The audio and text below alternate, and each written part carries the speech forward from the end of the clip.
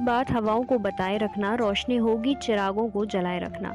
लहू देकर जिसकी हिफाजत की हमने, ऐसे तिरंगे को सदा दिल में बसाए रखना। ब्लॉक मानिकपुर की ग्राम पंचायत खरोद की ग्राम पंचायत प्रधान लवकुश की ओर से गणतंत्र दिवस की सभी क्षेत्रवासियों, ग्रामवासियों को हार्दिक बधाई एवं शुभकामनाएँ।